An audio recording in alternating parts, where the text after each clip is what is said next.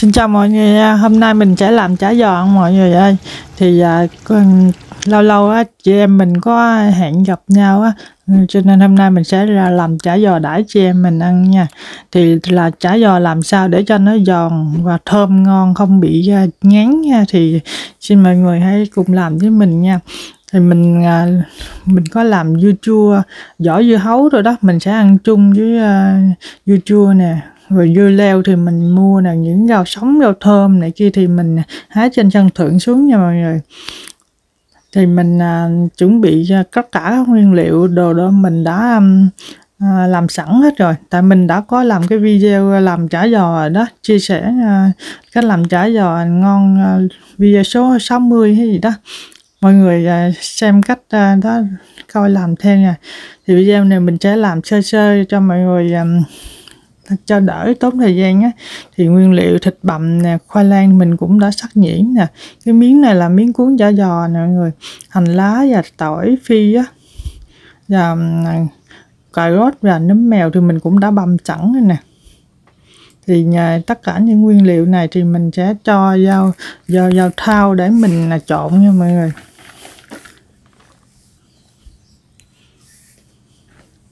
Mình cho tất cả các nguyên liệu vào thao nè, cho cái thao to to đặng mình trộn cho nó dễ.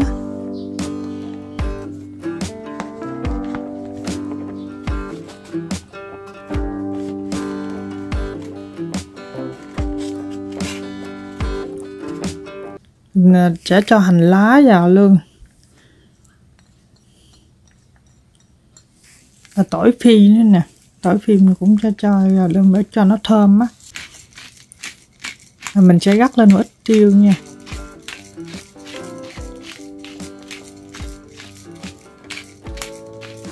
Mình tránh nêm vào cái phần này là một muỗng muối nè, rồi mình không có dùng nước mắm nè, hai muỗng đường nè, và một tí bột ngọt thôi.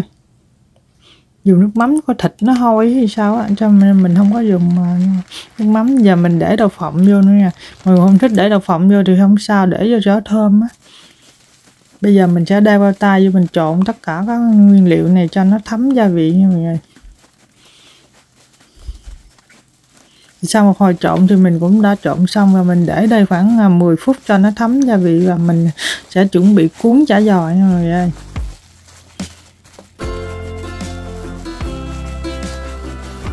Thì cuốn chai dầu cũng đơn giản lắm. Thì mình có mua cái miếng này là nó hình vuông đó.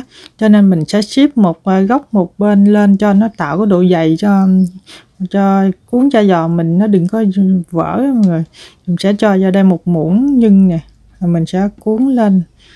Mình cuốn được một hai lần vòng thì mình sẽ bẻ hai bên vô và mình sẽ cuốn tiếp tục cho đến hết luôn nha mọi người.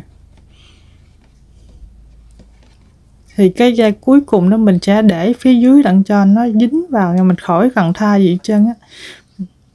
Mình cứ để uh, cái miếng uh, giáp cuối cùng là mình để bề dưới là nó sẽ dính vào trước khi, khi chiên nó mình nó không có bị vỡ ra nha mọi người.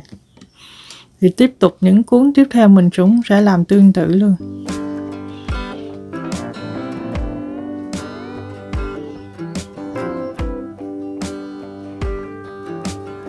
Thì sau một hồi cuốn thì mình cuốn được một mâm này luôn nè mọi người ơi?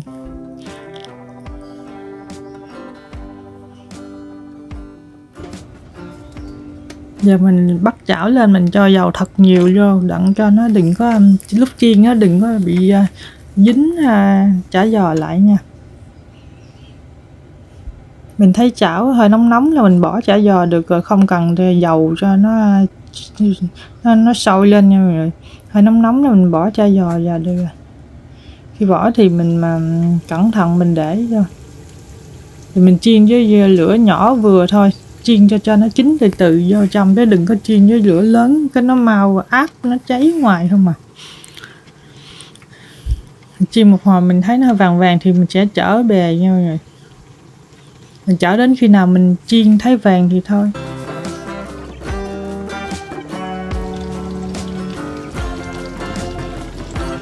Bây giờ mình cũng đã vàng hực luôn nè mọi người ơi.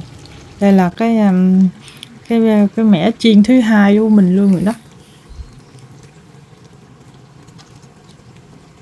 Trái vàng vàng um luôn, trái giò vàng um luôn chứ. Nó giòn bang bang nữa.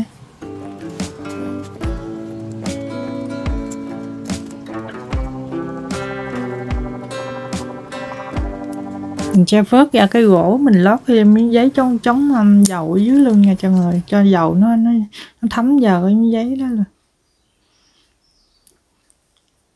đây là thành phẩm cho một hội chiên là một một gỗ luôn rồi thì ăn với um, chả giò thì mình có mua mấy trái dưa lê rồi. Và còn lại tất cả những rau là mình hái trên sân thượng nha mọi người. Ngò gí nè rau thơm nè lá mè nè húng lủi nè rau um, chắp cá nè đây rồi uh, xà lách rồi nữa. Bây giờ ừ, Bây giờ mình sẽ luộc bún nha từ nước sôi lên mình sẽ cho bún vào mình luộc à, uh, 5 phút. Mình vớt ra và mình rửa bún lại cho nó sạch nha mọi người. Luộc 5 phút là mình thấy nó chín nè. Thì mình cũng sẽ chuẩn mình đã cũng đã chuẩn bị lên mâm nè mọi người thì hôm nay à, có mấy chị rồi lại chơi á. Thì mình à, cũng đã chuẩn bị rồi. Xin mời mọi người và mấy chị vào vị trí mình ngồi chuẩn bị ăn nha.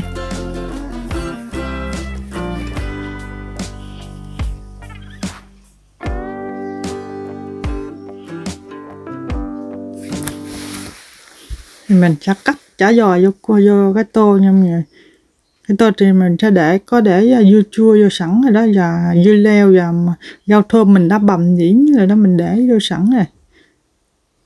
Rồi chả giò nó giòn luôn rồi ơi nó giòn ben ben luôn á.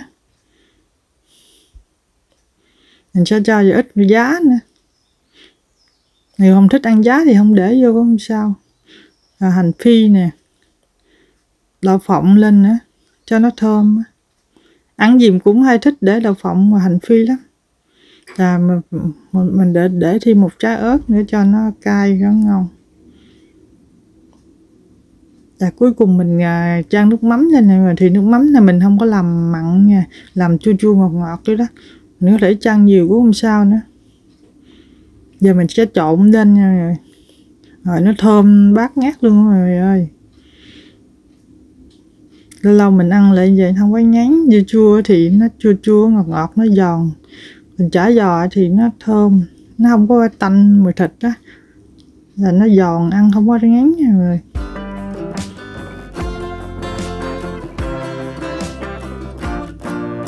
Xin mời mọi người cùng ăn nhé.